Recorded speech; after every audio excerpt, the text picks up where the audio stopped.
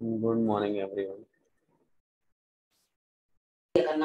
good morning sir अब से यही टाइम रहेगा ठीक है? यार मॉर्निंग वाला। तो next chapter is current electricity let's begin तो अब सभी को पता है करंट क्या होता है ना? Current is rate of flow of charge ये आपने क्लास टेंथ में भी पढ़ा है इन अ डेफिनेट डायरेक्शन अच्छा जो बेसिक है, अब वो तो आपको बनता है। चलो शुरू करते हैं। आ गए, चलो ठीक है लेट्स स्टार्ट ठीक।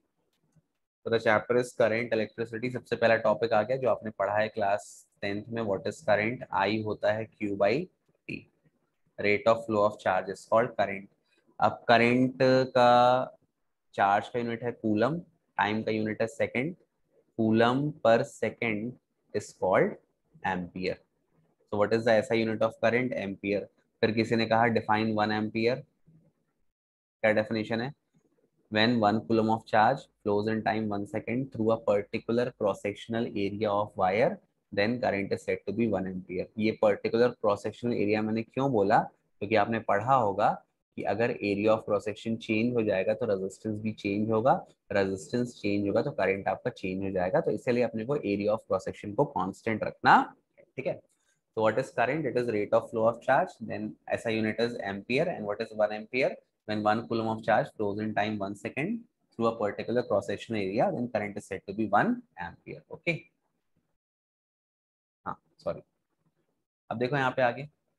नेक्स्ट uh, चीज़ जो अपने को पढ़नी है कि करंट आपकी कैसी क्वांटिटी है? Current is a scalar quantity अब ये क्वेश्चन कई बार आया है बोर्ड्स में कि करंट क्या है? Flow of charges in a definite direction तो current is flow of charges in a definite direction उसके बाद भी in spite of having direction current एक स्केलर क्वांटिटी है. क्यों? Who will tell me this in spite of the charges flowing in a definite direction current is a scalar quantity. Why? हम्म। बताओ Krish Satyendra, Avni, Utkarsh, Aditya, Vandana. Nobody will tell me अच्छा कोई बात नहीं। सुना आप देखो यहाँ पे। सपोज़ ये एक वायर है, ये दूसरी वायर है। ठीक है? इसमें करंट है टू एम्पियर और इसमें करंट है फाइव एम्पियर दोनों यहाँ पे मीट कर रहे हैं पॉइंट पर तो ये जो नई वायर सपोज़ ये निकल रही है, यहाँ पे टोटल करंट कितना आएगा? Tell me this is 2 ampere, this is 5 ampere, what will be the total current in this direction? ये जो मैंने एरो बनाया है OA कितना करंट होगा? ये तो बताओ, ये तो बहुत इजी है। प्रांशु प्रसून हम्म कितना होगा बेटा? Seven very easy seven ampere है ना? अब आप ये मान लो, जैसे सपोज़ दोनों वायर के बीच का एंगल थर्टी डिग्री है।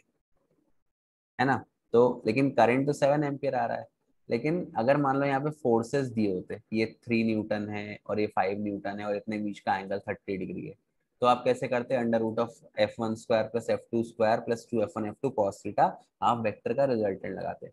बट जो करंट है, वो वेक्टर का एडिशन लॉ फॉलो नहीं करता। तो इसमें आंसर क्या लिखोगे? Current does not follow vector law of addition इसीलिए करंट कैसी क्वांटिटी है? करंट एक स्केलर क्वांटिटी है। अगर ये वेक्टर क्वांटिटी होता तो फिर नेट करंट कितना आता? नेट करंट आता under root of two square plus five square plus two times of two into five into cos theta that is thirty degree और आपका आंसर कुछ और ही आता है। बट ऐसा तो हो नहीं रहा है। करंट आपका सिंपली एल्जेब्रिक सम फॉलो कर रहा है। तो क्योंकि वेक्टर सम फॉलो नहीं करता, इसलिए करंट जैसी क्वांटिटी है, एक स्केलर क्वांटिटी है, ये वन मार्क क्वेश्चन है। Why is current a scalar quantity ठीक है? ओके। अब आगे बढ़ते हैं। आ, इसके बाद एक मिनट को मेरे को एनसीईआरटी खोल लें दो। हम्म, उसके हिसाब से देखना पड़ेगा। नेक्स्ट टॉपिक क्या है। हाँ। हाँ अब देखो नेक्स्ट टॉपिक है बेटा कि करंट आपका कंडक्टर में फ्लो कैसे करता है। ये सबसे इंपॉर्टेंट टॉपिक है और इससे रीजनिंग वाले क्वेश्चन और एमसीक्यू और अजर्शन बेस्ड क्वेश्चन भी पूछे जा सकते हैं। अब देखो एक सिंपल सी मैं आपको बात बता रहा हूँ। जैसे ये एक वायर है। अरे यार ये वायर है। ठीक है? कोई भी मेटल है, मान लो आयरन या कुछ भी है तो आपको क्या पता है मेटल में बहुत सारे फ्री इलेक्ट्रॉन होते हैं और मेटल में जो फ्री इलेक्ट्रॉन की डेंसिटी है, वो आपकी होती है ten to the power twenty nine पर मीटर क्यूब इतने फ्री इलेक्ट्रॉन हो सकते हैं एक मेटल में, ठीक है? Ten to the power twenty nine पर मीटर क्यूब और ये फ्री इलेक्ट्रॉन थर्मल वेलोसिटी किसके कारण? थर्मल वेलोसिटी के कारण मूव भी करते रहते हैं। बहुत तेज मूव करते रहते हैं। तो अब जैसे मान लो ये एक ये क्या हो रहा है? शेक क्यों हो रहा है वही शेक ला ला ला। ना? तो क्या हो रहा है? मान लो ये पॉइंट ए है ये पॉइंट बी है। अभी मैंने इसमें कोई आ, सेल या बैटरी नहीं लगाया और इसमें इलेक्ट्रॉन मूव कर रहे हैं। तो अगर मैं इसको टच करता हूँ तो क्या मुझे करंट आप किसी भी आयरन पीस को टच कर लो अगर वो सेल या बैटरी से नहीं जोड़ा। तो क्या आपको करंट लगेगा? नहीं लगेगा। लेकिन उसमें चार्जेस तो मूव कर रहे हैं और फ्लो ऑफ़ चार्जेस करंट होता है। तो करंट मुझे क्यों नहीं लग रहा? बताओ हु विल टेल हम्म। कौन बताएगा बेटा? क्वेश्चन मेरा समझ में आ गया कि आयरन का रॉड है, उसमें कई सारे फ्री इलेक्ट्रॉन है। Millions of free electron million क्या? Billion trillions of free electron है और वो लगातार अपनी थर्मल वेलोसिटी से मूव भी कर रहे हैं। थर्मल वेलोसिटी होती है ten to the power five metre पर सेकेंड, ये भी याद कर लेना। This is thermal velocity of electron बहुत फास्ट मूव करते हैं। तो ये इतनी रफ्तार से मूव कर रहे हैं, और move movement of charges current होता है। तो अगर मैं इसको टच कर लेता हूँ, ये जो आपका वायर है, या जो भी लोहा है, अभी ये सेल या बैटरी से जुड़ा नहीं है तो टच करने पर मुझे करंट नहीं लग रहा। क्यों नहीं लग रहा? हम्म। मैं माइक ऑन कर दूँ क्या आप लोग का? फिर बताओगे? अर्थ में चला जा रहा है। वाह, नहीं ऐसा नहीं, सुन लो। एक सिंपल सा एग्जांपल है कि जैसे आप लोग Satyendra Singh, yes sir, okay. Mike नहीं मेरे पास, वन में माइक है। ट्यूजडे से माइक ऑन करूँगा ठीक? हाँ तो ना तो सिंपल सी बात है कि अभी क्या हो रहा है, अभी जितने भी इलेक्ट्रॉन जैसे आप लोग मान लो क्लास में, सिंपल एग्जांपल है क्लास में आप लोग अगर टीचर है तो आप थोड़े वेल मेंटेन्ड रहोगे डिसिप्लिन रहोगे, थोड़ी पढ़ाई कर लोगे, मैं भी मानो फिर भी आप कर लोगे। लेकिन अगर टीचर क्लास छोड़ के चला जाए आपको तो आप क्या करोगे? क्लास में हुड़दंग कर दोगे, है ना? हल्ला, गुल्ला, मार, पिटाई, ये करना, वो करना, ये सब करते हो क्लास में। तो ये इलेक्ट्रॉन भी ना, बिना सेल और बैटरी के वैसे ही इनका जो मोशन तो हो रहा है बट इनका मोशन कैसा हो रहा है? इनका मोशन रैंडम मोशन है।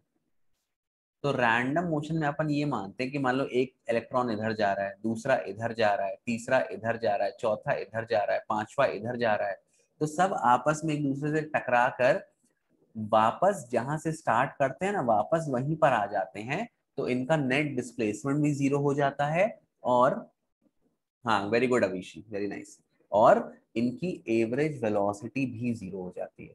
तो जब तक सेल या बैटरी प्रेजेंट नहीं है मोशन तो होता है बट मोशन कैसा है? रैंडम रैंडम चीज़ें कभी भी कोई रिज़ल्ट प्रोड्यूस नहीं करती। तो due to random motion their average velocity becomes zero and their net displacement is zero इसलिए कोई भी करंट नहीं होता। अब मैंने क्या किया? अब मैंने इसमें सेल या बैटरी लगा दिया। Okay okay? ये लगा दिया मैंने सेल या बैटरी अब सेल या बैटरी लगाने से क्या होता है? सबसे पहला काम, सबसे इंपॉर्टेंट इसको रट लेना, सबसे पहला काम जो होता है सेल या बैटरी लगाने पर, वो होता है इलेक्ट्रिक फ़ील्ड सेटअप होती है। इसने चैट मैसेज किया? दीपांशु। हाँ गुड दीपांशु। सबसे पहला काम क्या होता है? सबसे पहला काम होता है इलेक्ट्रिक फ़ील्ड सेटअप होती है, ठीक है? अब इलेक्ट्रिक फ़ील्ड आपकी किस स्पीड से सेटअप होती है? By the speed of light कितनी है speed of light three into ten to the power eight metre पर सेकेंड इस रफ्तार से पूरे सर्किट में एक फ़ील्ड सेटअप होती है। अब आपको पता है इलेक्ट्रिक फ़ील्ड का फॉर्मूला क्या होता है? E is equal to F by Q तो कहने का मतलब इलेक्ट्रिक फ़ील्ड लगाती क्या है? इलेक्ट्रिक फ़ील्ड चार्ज फोर्स लगाती है है ना? और इलेक्ट्रॉन पर फोर्स कहाँ लगता है? फ़ील्ड के डायरेक्शन के अपोजिट मतलब जितने भी इलेक्ट्रॉन हैं, अब वो उन पर फोर्स लगेगा from negative terminal to the positive terminal अब देखो होता क्या है? यहाँ पे बहुत ध्यान से देखना। अब इलेक्ट्रॉन पे एक डेफिनेट फोर्स लग रहा है। तो अब सारे इलेक्ट्रॉन कहाँ मूव करेंगे? From the negative terminal to the positive terminal अब आपको पता है, जब भी फोर्स लगता है तो बॉडी में क्या होता है? एक्सलरेशन अभी मैंने क्या बताया? कि जो चार्ज डेंसिटी है या जो आयन की डेंसिटी है वो कितनी है? Ten to the power twenty nine पर मीटर क्यूब बेटा, ये वैल्यू इतनी बड़ी है कि अगर मैं तुमको उसको गिनने को बोल दूँ ना कि गिनो वन टू थ्री फोर अभी से गिनो तो तुमको कम से कम हज़ार ज़िंदगी लग, ज़िंदगी लाइफ लग जाएगी इसको गिनने में। नंबर बहुत बड़ा है। तो क्या होता है कि जैसे इलेक्ट्रॉन पर फोर्स लगा, अब इलेक्ट्रॉन चाहता है कि मैं एक्सेलरेट करूँ। फोर्स लगने पर एक्सेलरेशन होता है। लेकिन इतने ज़्यादा पॉजिटिव जो मेटल जैसे मान लो आयरन है तो आयरन ने दो इलेक्ट्रॉन सपोज़ लूज कर दिए एफ़ टू प्लस है। तो आयरन का वहाँ पे मेटल का आयन भी तो प्रेजेंट होगा बड़ा सा। तो मान लो ये एक इलेक्ट्रॉन है, और यहीं पे एक बगल में मेटल का आयन है। इसका साइज़ काफ़ी बड़ा है, और मेटल क्या है मूव नहीं करते, इनकी मोबिलिटी बहुत कम होती है। अभी अपन आगे पढ़ेंगे, ठीक है? अब ये जैसे ही मूव करना चाहता है बेटा, क्या होता है, ये तुरंत एक मेटल आयन से टकरा जाता है। जैसे ये टकराता है ये अपना सारा एनर्जी और मोमेंटम लूज कर देता है। हाँ, लेकिन इलेक्ट्रिक फ़ील्ड तो कंटिन्यूस है इलेक्ट्रिक फ़ील्ड तो आपकी लग रही है। तो टकराने के बाद सॉरी ये फिर से स्टार्ट करता है अपना मोशन फिर से एक्सेलरेट करना चाहता है फिर एक मेटल आयन मिलता है और फिर ये टकरा कर रुक जाता है। तो होता क्या है कहने का मतलब इतनी ज़्यादा आयंस की डेंसिटी है कि ये इलेक्ट्रॉन कभी एक्सेलरेट ही नहीं कर पाता। तो ये कैसा हो रहा है? ये मतलब जैसे वो देखा ना टोक्यो ड्रिफ्ट मूवी देखी है? टोक्यो ड्रिफ्ट या नहीं देखी? अरे वो जो टकला हीरो है यार, जो फास्ट एंड फ्यूरियस में रहता है। क्या नाम है उस टकले हीरो का? सॉरी टकला मतलब बैड चलो, जो भी उसका है। तो उन लोग नहीं, कार को ऐसे ड्रिफ्ट करते हैं हैंड ब्रेक मार के ऐसा, है ना? हल्का हल्का एक्सलेट करेंगे, फिर ड्रिफ्ट कर देंगे, फिर एक्सलेट फिर ड्रिफ्ट तो यहाँ भी वही हो रहा है। कभी एक्सेलरेशन हो ही नहीं पा रहा, जैसे वो एक्सेलरेट हो रहा है इलेक्ट्रॉन इलेक्ट्रिक फ़ील्ड में, तुरंत वो मेटल आयन से टकराता है और अपना सारा एनर्जी लूज कर देता है वेलोसिटी भी लूज कर देता है। तो इसको बोलते हैं ड्रिफ्टिंग तो इलेक्ट्रॉन जब मूव करता है किसी वायर में एक्सेलरेट वो करना चाहता है बट कर नहीं पाता, क्यों नहीं कर पाता? क्योंकि वो लगातार कोलाइड करता है। तो क्या ड्रिफ्ट करता है? और जिस रफ्तार से ड्रिफ्ट करता है, उसको अपन बोलते हैं ड्रिफ्ट वेलोसिटी क्लियर है ये चीज़? कैसे मूव करता है इलेक्ट्रॉन कंडक्टर के अंदर? हम्म? बताओ is it clear to everyone एक मिनट बेटा। हाँ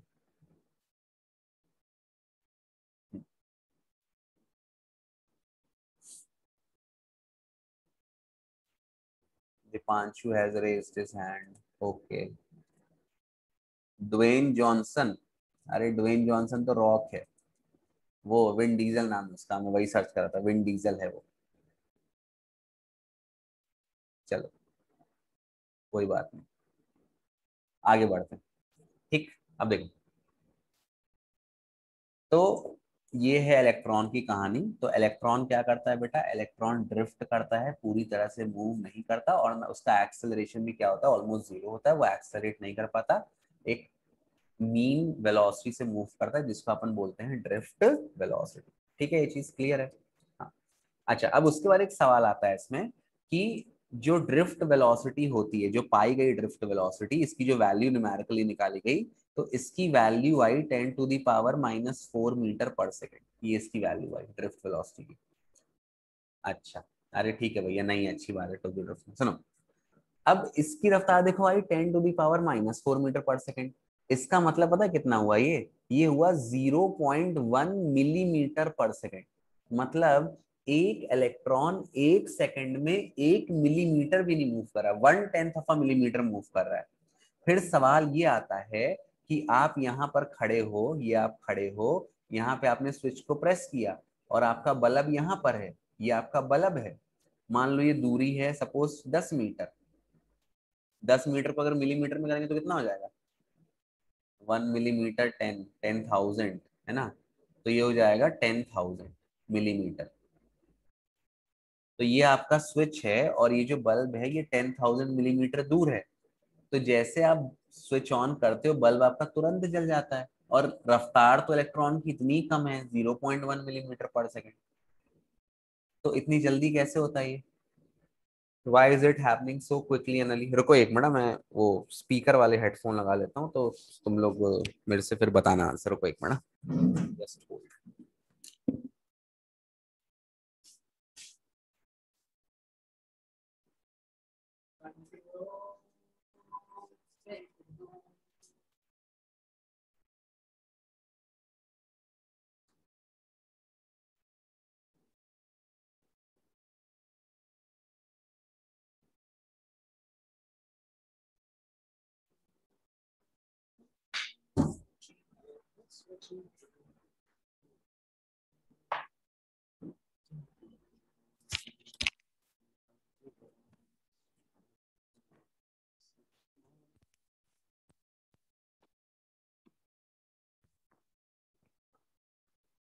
अभी अनम्यूट मत कर देना।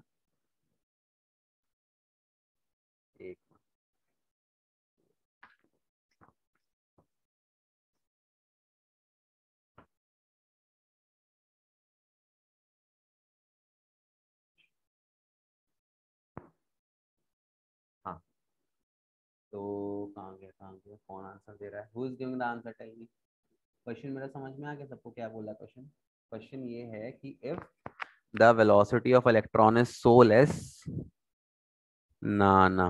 कौन आंसर देगा बताओ? Tell me raise your hand तो मैं उसको अनम्यूट करूँ। हम्म मतलब ठीक है गुड ठीक है बट उतना क्लियर नहीं है Prasoon. Will you answer it Prasoon. हाँ? कौन आंसर देगा? चलो मैं सबको कर देता हूँ अनम्यूट हल्ला मत करना बस, ठीक है? अलाउ पार्टिसिपेंट टू अनम्यूट तो जिसको आंसर देना है please tell the answer to the entire class और अपना वीडियो ऑन कर लेना, ठीक है? Answer they time so the entire world can see you that you are such a beautiful person come on कौन आंसर देगा? क्वेश्चन ये है कि अगर वेलोसिटी इतनी कम है इलेक्ट्रॉन की Rudresh Singh it will move with velocity of light अरे रुद्रेश, मैंने बता दिया। बट, बता, बट आंसर मैंने अनम्यूट कर दिया आप लोग को। Anyone Prasoon Rudresh Ritika Dipanshu Abhishi Vandana Deepali Krish Avni Utkarsh Satendra Saraswati Ashutosh Rashi who will give the answer? हाँ कौन बोल रहा है मयंक बोलो बोलो अरे यार तुम ऐसे हाँ Sir, because electrons are present throughout the conductor, but when uh, the circuit is closed, electrons start flowing uh, uh, one by one, and hence electricity is uh, produced. Very good सुन लो उसका कहने का मतलब ये है मैंने क्या बोला कितना है चार्जेस मेटल आयन की density 10 to the power 29 per metre cube अब अगर तुम ये सपोज़ करो कि एक मेटल अगर एक फ्री इलेक्ट्रॉन देता है तो इलेक्ट्रॉन की डेंसिटी भी तो इतनी हो जाएगी ना। तो इतने सारे इलेक्ट्रॉन प्रेजेंट कहने का मतलब जब आप स्विच ऑन करते हो तो करंट का मतलब ये नहीं है कि जब यहाँ वाला इलेक्ट्रॉन यहाँ से जाकर यहाँ पे जाएगा तब जाके आपका करंट पूरा होगा ऐसा नहीं है। इलेक्ट्रॉन वाले बगल हाँ electron throughout the wire एकदम फुलफिल है भरे हुए एकदम ठूस ठूस के भरे हुए हैं। तो क्या होगा, जैसे आप करंट का स्विच ऑन करोगे, सबसे पहले क्या सेटअप होती है? इलेक्ट्रिक फ़ील्ड और इलेक्ट्रिक फ़ील्ड सेटअप होने की वेलोसिटी कितनी है? Three into ten to the power eight metre पर सेकेंड तो ये इलेक्ट्रिक फ़ील्ड तुरंत सब पर फोर्स लगाना चालू करती है। और जो इलेक्ट्रॉन सबसे करीब है आपके बल्ब के फिलामेंट के, वो उचक के फिलामेंट में चला जाएगा और आपका बल्ब जल जाएगा। तो कहने का मतलब ये है कि सबसे दूर वाला इलेक्ट्रॉन जब यहाँ जाएगा, तब करंट फ्लो नहीं होगा। जो सबसे करीब है वो आपके फिलामेंट या जो भी आपके पास डिवाइस उसमें चला जाएगा और इलेक्ट्रिकल एनर्जी आपकी यूज़ हो जाएगी। क्लियर है चीज़ सभी को? हम्म। क्यों दीपांशु, शिवांक, श्रुतिका, राशि, प्रांशु, मयंक। क्लियर है बेटा? हम्म ओके। चलो ठीक। तो ये हो गया कि भैया क्यों इतना तेज करंट फ्लो करता है? It is because of the setting up of electric field पहला और दूसरा ऑप्शन क्या है? दूसरा आंसर आप उसमें और क्या ऐड कर सकते हो? क्योंकि इलेक्ट्रॉन की डेंसिटी बहुत ज़्यादा है। कितना डेंसिटी है? Ten to the power twenty nine तो ये आपको ये वैल्यू याद करनी है। आपको थर्मल वेलोसिटी याद करनी है। Ten to the power five metre पर सेकेंड और आपको ड्रिफ्ट वेलोसिटी याद करनी है। Approx ten to the power minus four metre पर सेकेंड ये तीनों वैल्यूज़ आप याद कर लेना। अगर क्वेश्चन कोई आता है रीजनिंग वाला तो अगर आप वैल्यूज़ के साथ अपना आंसर सस्टेन करोगे तो that will be good Satyendra Singh sir voice clear नहीं है बेटा चलो ठीक है, फिर मैं नॉर्मल माइक लगा लेता हूँ। ये मेरा माइक एक्चुअली ख़राब हो गया हेडफोन वाला। चलो ठीक है, ये वाला लगा लेता हूँ। यार, बड़ा दिक्कत है करने बार बार। अभी भी क्लियर नहीं है? हम्म। हाँ ठीक है सॉरी माइक दूर था एक्चुअली ओके ओके। ठीक है अब चलो आगे बढ़ते हैं। ये हो गया इलेक्ट्रॉन का ड्रिफ्टिंग एंड एवरीथिंग। इसके बाद आपका जो नेक्स्ट टॉपिक आता है वो आता है ओम्स लॉ। कौन बताएगा व्हाट इज़ ओम्स लॉ? ये भी पढ़ा है क्लास टेंथ में। कुछ अलग नहीं है ट्वेल्थ में सब सेम है। लॉ तो सेम रहता है ना बस कुछ चीज़ें नहीं आ जाएँगी। What is Ohm's law. अरे फॉर्मूला नहीं पूछ रहा हूँ बेटा। ओम्स लॉ क्या होता है? डेफिनेशन क्या है? V is equal to I R तो टेंथ वाले को ही पता है। हम्म कोई नहीं बताएगा। Is directly proportional to res- uh, current flowing through the wire. हाँ current flowing through the wire है ना। सुन लो क्या बोला ओम ने?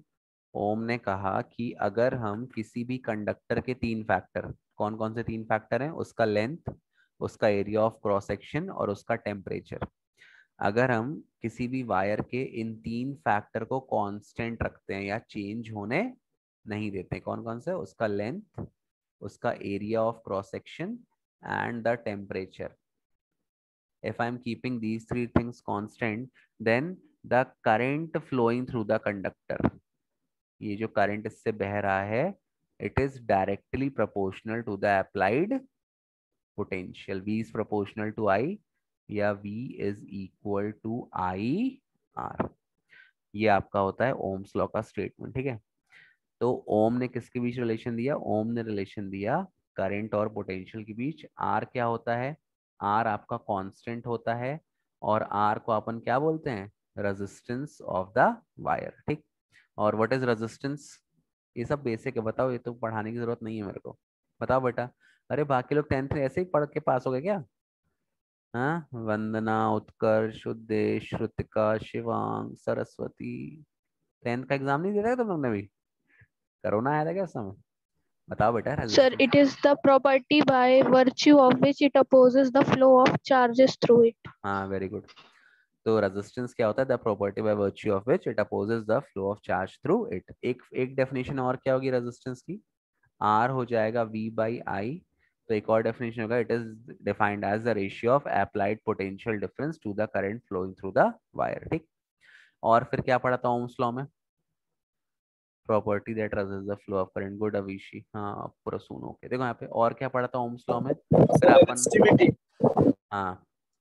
अब इसका इसकी यूनिट होती है वोल्ट और करंट की यूनिट होती है एम्पियर वोल्ट पर एम्पियर क्या कहलाता है? ओम है ना? फिर मैंने कहा डिफाइन वन ओम डिफाइन करो वन ओम बताओ। Define one ohm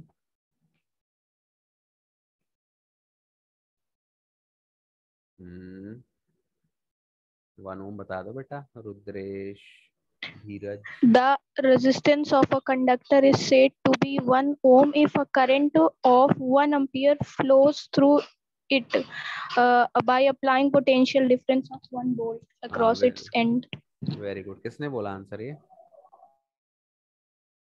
वंदना चलो वेरी गुड वंदना तुम्हारे सेशन में मार्क्स पूरे Yes.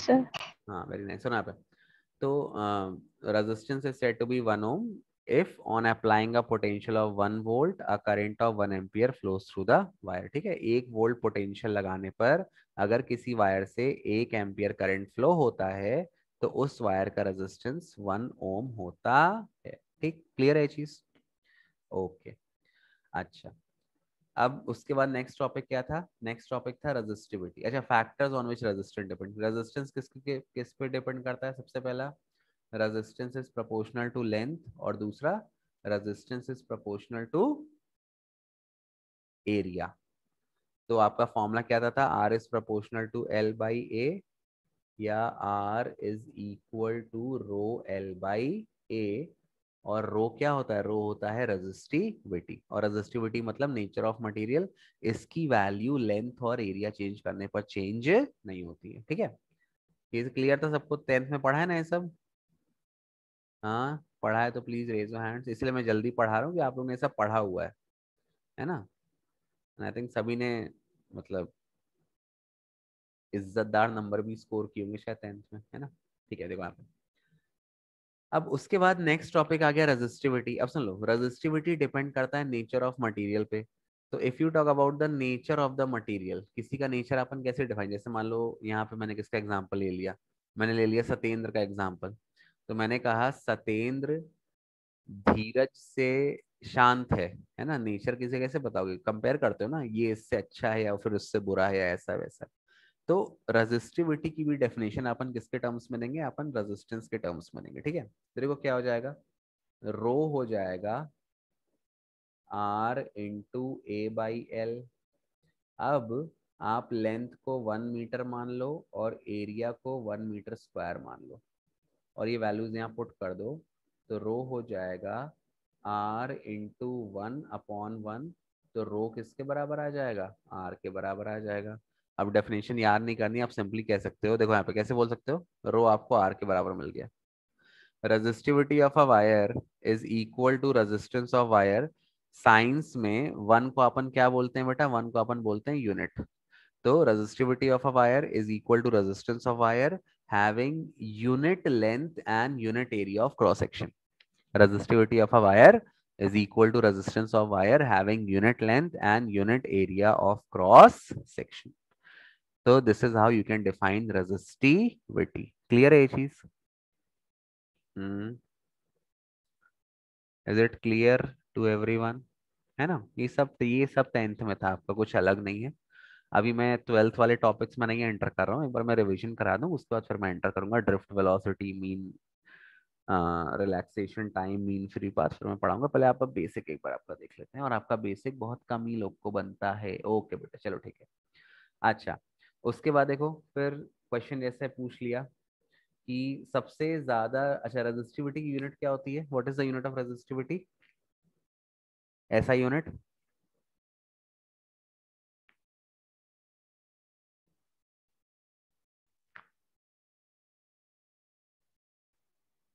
हम्म। बोल दो माइक तो चालू तुम लोग का। ओम मीटर हाँ। रेजिस्टिविटी यूनिट है ओम मीटर है ना। आपको पता है अगर मान लो आपको यूनिट नहीं पता तो आप यूनिट निकाल सकते हो।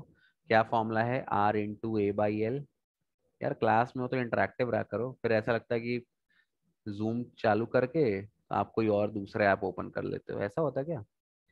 रेजिस्टेंस की यूनिट है ओम एरिया का यूनिट है मीटर स्क्वायर मतलब मीटर इंटू मीटर और लेंथ का यूनिट है मीटर एक मीटर एक मीटर कैंसिल, आपका यूनिट आ गया ओम मीटर।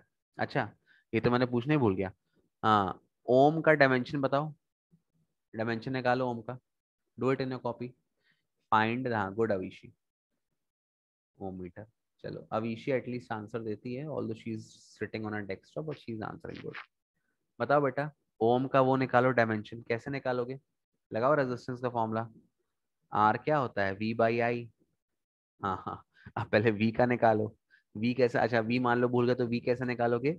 V होता है w बाई क्यू है ना? तो यहाँ से तुम v का निकाल लो। I का तो एम्पियर होगा। करो, r का बताओ डायमेंशन क्या आएगा? पहले r का डायमेंशन बताओ और r के बाद फिर रेजिस्टिविटी का डायमेंशन बताओ। चलो। डू इट ये चैप्टर पूरा आपको ही पढ़ना है ना? मैं बस आपसे पूछूँगा। पेपर में किसी ना किसी का डायमेंशन पक्का पूछेगा। Deepanshu has given the answer M L square T minus three I minus two ठीक है? गुड और किसी का आंसर मुझे नहीं पता, मुझे रटा नहीं है डायमेंशन ना? और किसी का आंसर दो। आप कॉपी मत कर देना, अपने से सॉल्व करो, जो आता है वो दो आप, ठीक है? It is not that Deepanshu will be always right and you will be always wrong anybody can be right और wrong have faith in yourself I should be a motivational speaker Avishi ने answer दिया M L T minus three A minus two Avishi और दीपांशु के answer में L का square और L का अंतर है। दीपांशु में एक एल ज़्यादा है, अविशी में एक एल कम है। ओके और कोई आंसर दो बेटा, बाकी वंदना, प्रांशु, धीरज निकालो, पुत्र। हम्म? Ashutosh, Krish, Satendra M L square T minus three I minus two Avani Saraswati, Shivang, Shrutika.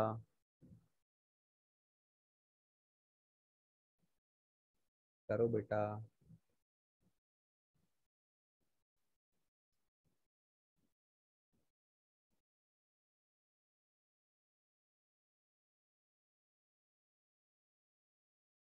Pranshu ने भी एम एल स्क्वायर तो एम एल स्क्वायर काफ़ी लोग दे रहे हैं। अच्छा ठीक है, okay Avishi good that you said it is M L square चलो, ठीक है। तो इसका डायमेंशन आएगा एम एल स्क्वायर हाँ ठीक है? और रजिस्टिविटी का बताओ। क्रिश रावत है आंसर गुड क्रिश रजिस्टिविटी का बताओ बेटा। रजिस्टिविटी है ओम मीटर तो उसमें एक एल और मल्टीप्लाई कर दो, है ना? तो रजिस्टिविटी कितना आ जाएगा, फिर बताओ। hmm. बताओ बेटा।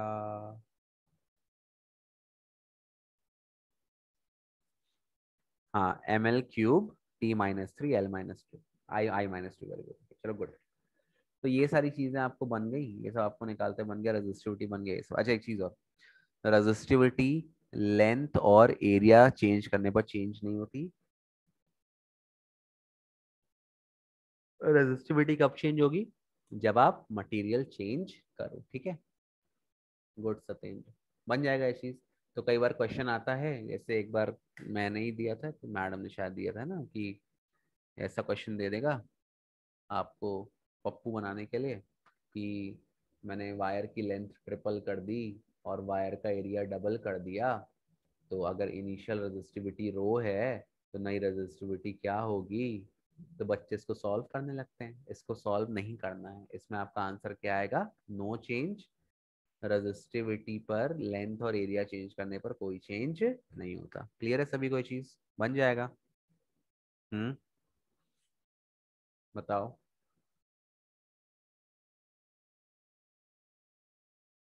Okay okay okay. Use use sir, okay.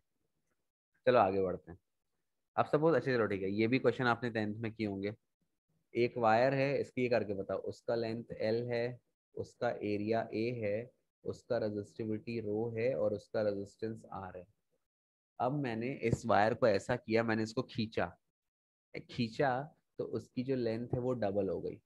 तो अगर इनिशियल रेजिस्टेंस आर है तो what is the new resistance R dash इसको आपको निकालना है। क्वेश्चन समझ में आ गया? I have a wire of length L, area A, resistivity rho, and resistance R. I am stretching the wire so that its length becomes twice, here double. If initial resistance is R, what is the new resistance?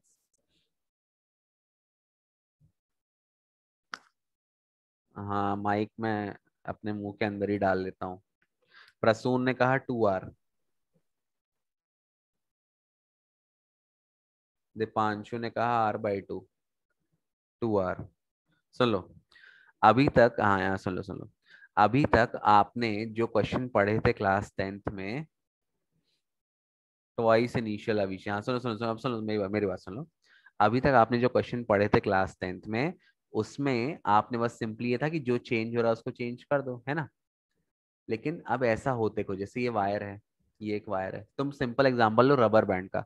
अगर मैं rubber band को खींचूँगा, अगर मैं rubber band को खींचूँगा तो क्या होगा? लंबा तो होगा लेकिन रबर बैंड साथ में और क्या हो जाएगा? पतला होता है ना, पतला क्यों होता है? क्योंकि आप किसी भी चीज़ का वॉल्यूम चेंज नहीं कर सकते वॉल्यूम कांस्टेंट रखने के लिए। तो ये जो क्वेश्चन आते हैं ट्वेल्थ क्लास में, इसमें बस ये बस कुछ बोलेगा नहीं वॉल्यूम के बारे में बट आपको पता होना चाहिए। तो क्वेश्चन कैसा दे देगा? कि लेंथ डबल कर दिया, अब नया रेजिस्टेंस क्या होगा? तो इनिशियल रेजिस्टेंस कितना हो गया बेटा? आर हो गया रो एल बाई ए अभी जनरली एमसी की फॉर्म में ही आएगा आएगा तो ठीक है।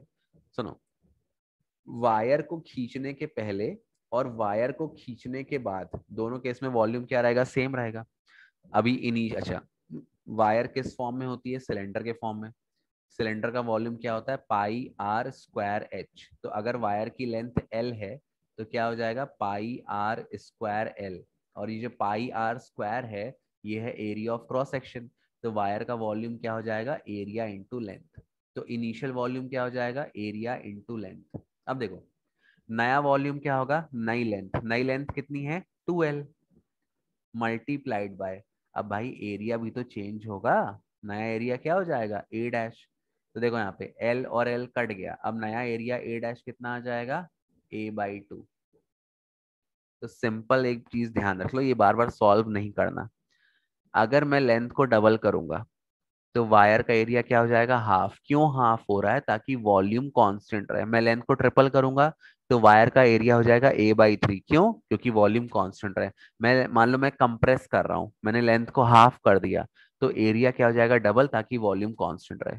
तो ये जो क्वेश्चन ट्वेल्थ में आते हैं, इसमें ये नहीं बोलेगा कि वॉल्यूम के बारे में कुछ नहीं बोलेगा, बट आपको ये अपने आप कंसिडर करना है प्रैक्टिकल केस कि भाई मैं वायर को खींचूँगा तो लंबा तो होगा, बट साथ में पतला भी हो जाएगा। जो चेंज लेंथ में होगा, उसका जस्ट अपोजिट चेंज आप एरिया में कर दो। तो देखो कैसे करना है, ये इनिशियल हो गया, अब नया लेंथ हो गया टू और नया एरिया हो गया ए बाई टू सपोज़ नया रेजिस्टेंस है आर डैश तो आर डैश हो जाएगा रो अब नया लेंथ कितना है? टू डिवाइडेड बाय नया एरिया ए बाई टू ये डिनोमिनेटर के डिनोमिनेटर में है, ये कहाँ चला जाएगा? ऊपर। टू टू ज़ा कितना होता है? फोर तो आर डैश आ गया four rho L by A और रो एल बाई ए किसके बराबर है? इनिशियल रेजिस्टेंस आर के तो आपका आंसर आ गया R dash is equal to four R ठीक है? हाँ प्रसून, गुड। समझ गए? तो अब हाँ ये क्वेश्चन में आपको पेन भी नहीं उठाना। अब आपको पता है भाई लेंथ डबल होगी तो एरिया हाफ़ हो जाएगा। लेंथ ट्रिपल होगी तो एरिया वन बाई थ्री हो जाएगा। क्लियर है ये चीज़? प्रांशु प्रसून तो दोनों नाम इतने करीब करीब है धीरज, राशि राशि। दीपांशु क्लियर है बेटा? अभिषी रितिका आशुतोष कृष ये क्वेश्चन ध्यान रखना ट्वेल्थ में आपको ये सब नहीं दिया रहेगा कि वॉल्यूम कांस्टेंट है, आपको खुद से इम्प्लीमेंट करके करना है, ठीक? बन जाएगा सभी को। इजी है। अच्छा देखो, ये तो सिंपल था, लेकिन मान लो क्वेश्चन में अभी तो मैं एरिया चेंज कर रहा था। अच्छा चलो ठीक है, एक मिनट बचा है। चलो लेट्स स्टडी टुमारो हाँ। कल पढ़ते हैं आपसे यही नाइन थर्टी टाइम रहेगा डेली जिस दिन चेंज होगा तो मैं आपको बता दूँगा इन्फॉर्म कर दूँगा ठीक? ओके चलो। यू ओके चलो thank you very much everyone कल से अपन हाँ कल से अपन फिर मेन चैप्टर पढ़ेंगे ठीक? आज मैंने बस ओवरव्यू ऐसे किया था कि आपको बनता है कि नहीं। कल से फिर अपन पढ़ेंगे ठीक? चलो ओके बेटा। Bye bye take care bye bye bye bye bye bye bye